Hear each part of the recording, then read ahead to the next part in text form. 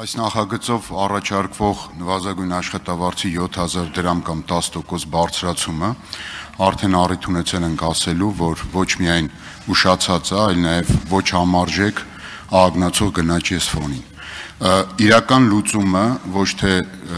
մի քանի հազարով աշխատավարձի բարձրացումն է նվազագույն, այլ նվազագույն աշխատավարձի ինդեքսավորումը, որի նախագիծը մերժվել է քաղաքական մեծամասնության կողմից եւ նաեւ պետք է փաստենք, որ մինչեւ հիմա արձանագրված գնաճը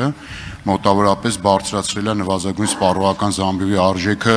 առնվազն 2 անգամ ավել 2020 թվականի հունվարի 1-ից հետո, երբ չի բարձրացել նվազագույն աշխատավարձը։ Գնաճի բոլոր նախադրյալները կան, հաջորդ տարվա միջև ավարտը մոտավորապես զամբյուղի եւ նվազագույն աշխատավարձի ձեր առաջարկած չափի տարբերությունը լինելու է շուրջ 3 անգամ։ Այսինքն բարձրանալու է նվազագույն զամբյուղը առնվազն տարբերությունը մինչև 80-85 հազար, իսկ դուք առաջարկում եք 75 հազար դրամ։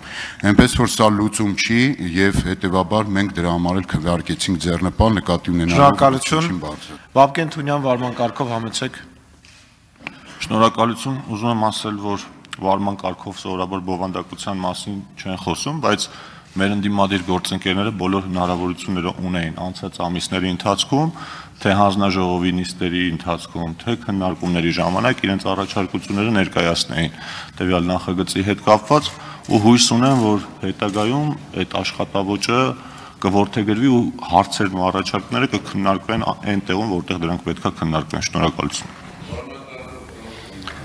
Խնդրեմ պարոն Վարդանյան, վերջին վարման կարգով համեցեք ասել, որ վարման կարգով բովանդակության մասին չեն խոսում եւ բովանդակության մասին խոսելը ճիշտ չէ։ Կարծեմ հիշողությունները չի դավաճանում, մենք օրենսդրական նախաձեռնությամբ հանդես ենք եկել երկու անգամ եւ դուք նույնիսկ չեք քվեարկել այդ հարցերը մտնել օրակարգ, երբ որ առաջարկում էինք 2023 թվականից դարձնել 80000 դրամ։ Շնորհակալ եմ։ Վարման կարգով։ Շնորհակալություն համաձայն եմ պարոն Վարդանի հետ, վարման կարգով բովանդակությունից չեն խոսում եւ ուրախ եմ, որ Հայաստան Դաշինքի մեր գործընկերները նույնպես այս կարծիք են։ Պարոն Սիմոնյան, խնդրում եմ վարման կարգով թույլ չտալ այլևս բովանդակությունից խոսել։ Շնորհակալություն։